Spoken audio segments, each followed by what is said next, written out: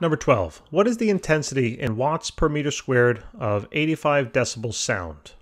All right, so when we're talking about now sound intensity and stuff, we have a formula over here on the right-hand side.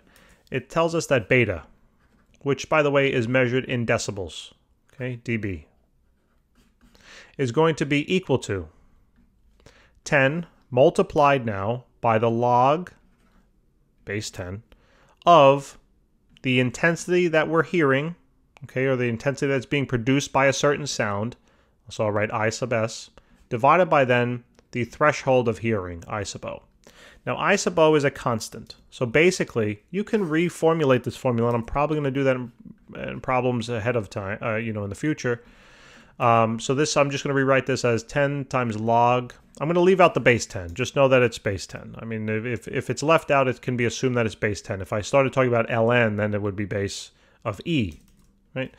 So this is going to be the intensity divided by just I sub o, which is 10 to the minus 12th, okay? This is, by the way, for uh, human hearing. Now, it might be different for other animals, and their threshold might be a little uh, different, but uh, we can definitely make these assumptions. So what I now, all I need to do basically is, is solve this for the intensity I, all right? How do we do that? Well, first thing is let me plug in my beta value. All right, my beta value is going to be 85, okay?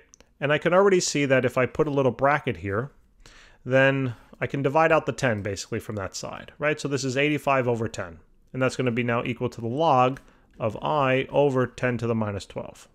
All right, so why don't you just simply do this? So this becomes, simplify this a little bit, this becomes 8.5 is then equal to the log of i over 10 to the minus 12th. Now, what you have to do to get rid of the log, all right, and this is where the base is important, but uh, again, if it's not written in, just assume and, you're, and it says log, log, not natural log ln. Um, all you have to simply do is then raise both sides up to whatever base value you're talking about. Okay, in this problem it's base 10, and most of them should be the same thing unless you're dealing with natural log. So what I then need to do basically is take 10, okay, and I'm going to raise then uh, each side up as the exponent. So this becomes 10 raised to the 8.5.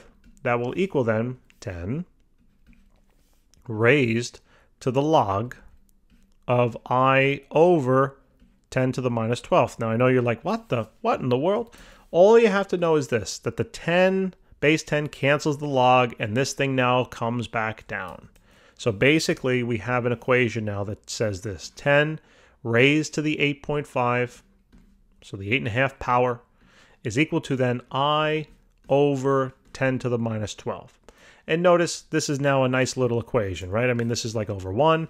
If you want to just find i, all you have to do is just simply cross multiply these two values. All right, so the intensity here is now going to be equal to 10 raised to the 8.5 multiplied by 10 raised to the negative 12.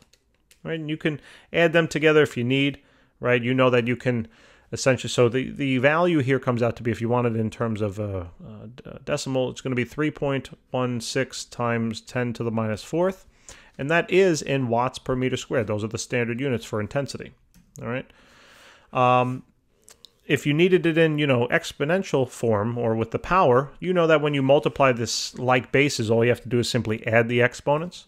So when you take 10, 8.5 to the 8.5th power, and you multiply by 10 raised to the negative 12th, right, you can simply just add these two together. All right. And then you can arrive at your answer. So this would be essentially 10 raised to the negative 3.5.